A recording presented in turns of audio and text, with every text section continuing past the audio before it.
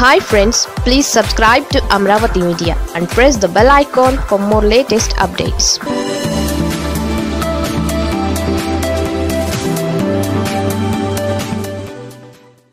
Raghurama episode CBI విచారణ జరిగేది ఎప్పుడు? తేలేది ఎప్పుడు? వైసీపీ రెబెల్ ఎంపీ రఘురామకృష్ణంరాజుపై ఏపీ సిఐడి థర్డ్ డిగ్రీ ప్రయోగించిందన్న ఆరోపణలున్నాయి. స్వయాన రఘురామ ఈ విషయాన్ని న్యాయస్థానం దృష్టికి తీసుకువెళ్ళారు. తన తండ్రిపై జరిగిన దాడికి సంబంధించి సిబిఐతో విచారణ చేయించాలంటూ రఘురామ తనయుడు సుప్రీంకోర్టును ఆశ్రయించిన విషయం తెలిసిందే. ఈ వ్యవహారంలో తదుపరి ఏం జరగబోతోంది? సుప్రీంకోర్టు సిబిఐ విచారణకు ఆదేశిస్తే ఆ విచారణలో ఏం తేలబోతోంది? సరే ఏం తేలుతుందన్నది వేరే చర్చ. అసలు ఎప్పటికీ విషయం తేలుతుంది అన్నదే ఇక్కడ అసలు సిసలు ప్రశ్న. రాష్ట్రానికి సంబంధించి సిబిఐ పలు కేసుల్ని టేకప్ చేసింది. అందులో వైసీపీ నేత మాజీ మంత్రి వైఎస్ వివేకానందరెడ్డి హత్య కేసు ఒకటి. మరో కీలకమైన కేసు డాక్టర్ సుధాకర్ వ్యవహారానికి సంబంధించినది.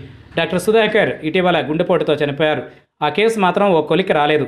కర్నూలు జిల్లాకి చెందిన బాలిక సుగాలి ప్రీతిపై హత్యాచారానికి సంబంధించి కూడా సిబిఐ విచారణకు రాష్ట్ర ప్రభుత్వం ఆదేశించిన సంగతి తెలిసిందే.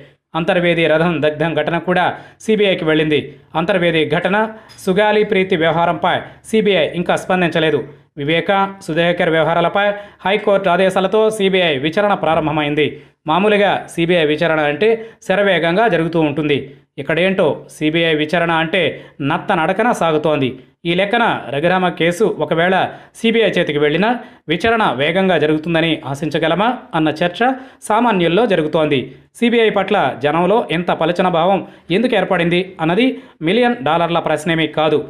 ఆయా కేసుల్లో జాప్యమే ఈ భావనకు కారణం.